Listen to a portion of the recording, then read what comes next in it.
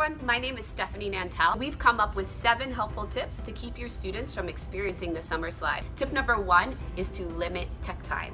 So things you should consider when setting limits is how are your children using their devices? Is it purely for entertainment, watching videos, or are they doing learning activities like maybe reading, journaling, um, doing learning apps?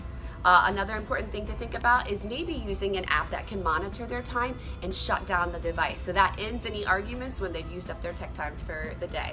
So remember, tip number one, limit tech time to reasonable amounts. Hey parents, here we are with tip number two, just keep reading. For another fun way to avoid summer boredom, pick a book that your entire family can read and try scheduling a time when you can all meet to talk about it. You can even start a family book club. Make it a fun party with a theme based on the book you're reading.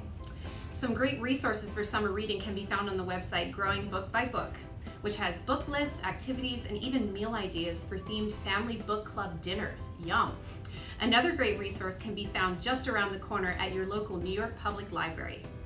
Hi parents, we're here with tip number three, Explore NYC. We've got great staycation ideas for you and your kids to stay active this summer. A few of our favorites are go to the beach and collect seashells and then take it home and do an arts and craft project.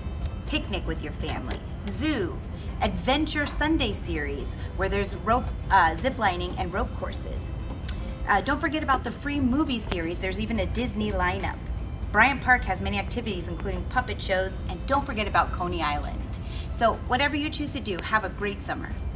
Hi, this is Thane with Education Through Music. Here's our next tip to avoid the summer slide. There are so many different attractions to do here in New York City in the summer, from museums to the zoo to parks to special events that are all free.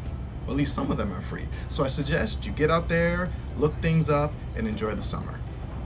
Hey parents and families, this is Kevin here at ETM with tip number five. Encourage the social emotional growth of your child by helping them make a new friend. Create opportunities for them to regularly interact with peers. You can do this by taking them to the park or playground, or even enrolling them in a summer camp. For instance, the YMCA offers camps in all five boroughs and some programs in upstate New York for different durations and dates.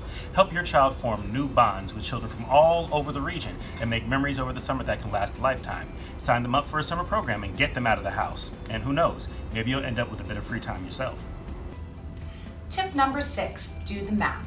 Research shows that summer learning loss has many students arrive back at school every fall worse than they were in the spring.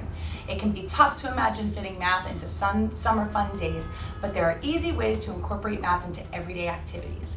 Increase awareness of numbers around the house by having your child read the time, help plan the family calendar, or help plan activities by reading movie times or weather forecasts.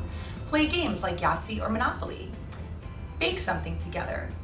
Do math at the supermarket. If apple juice is 250, how much would it be if we buy three? Estimate how many apples will fit into the fruit bowl at home. Practice making patterns with toys or in the park.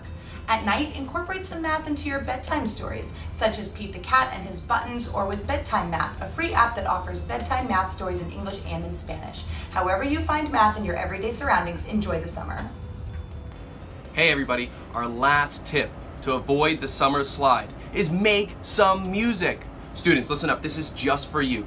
If you're a student who's completed the fifth through eighth grade at an ETM partner school, you are invited to a free summer music academy at MS 180 in the Bronx. If you want to know more about this free program, you can check us out online at etmonline.org.